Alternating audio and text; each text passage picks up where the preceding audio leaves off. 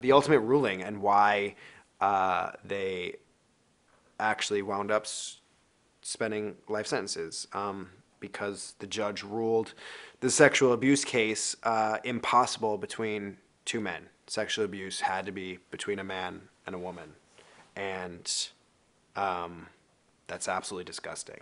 And I think that that is the only saving grace for them to go back to retrial in 2020. I really do hope that this shines a light on this case in a way that hasn't been seen before and uh, gives people a space to really empathize and feel for these guys. I would love to see them both walk free. That's a lot because I'm playing him right now, you know. Uh, I don't know that I would feel that way if I wasn't playing him right now. But I I think that uh, the ultimate ruling is so up. I'm sorry I'm saying that right now. That something needs to be done about it.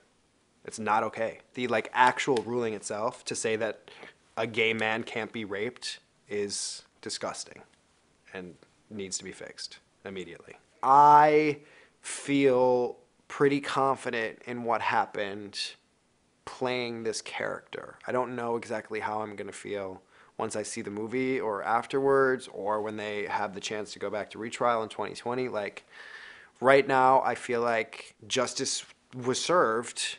Do I agree with it and the act of justice? No, absolutely not. But can I understand it? Yeah. the news stations kind of told the same story. It's like this, these rich kids killed their parents, and uh, and then in the second trial they didn't allow cameras in the courtroom because there was just such a big fanfare. The the, the jury was a hung jury, so they, they had to go to another court case on it, and and the judge did not allow the cameras and couldn't or didn't allow any testimony about abuse, which that surprised me because if that's part of their defense, I don't understand why they weren't allowed to use it. I do think that there was something going on. While watching the trial, there were times that I could see them responding where it seemed like they were making stuff up or maybe lying to help corroborate their story.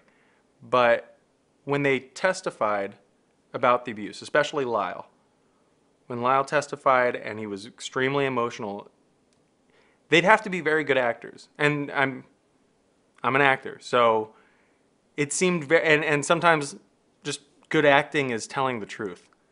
And so I think they were telling the truth in that case. So I, I think something happened. I don't necessarily believe that abuse is an excuse for murder. They killed their parents and that they should serve time for that.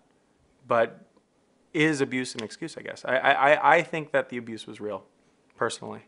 I just think that they wouldn't be good enough liars to pull that off.